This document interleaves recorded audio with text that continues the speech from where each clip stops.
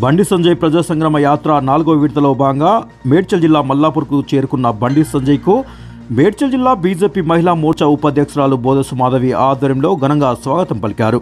అనంతరం ప్రజా సంగ్రామ యాత్ర సంబంధించిన కేక్ను బండి సంజయ్ కట్ చేశారు. అనంతరం బెలూన్లను ఎగురవేశారు. రామర్జ విగ్రహానికి పూలమాలలు వేశారు.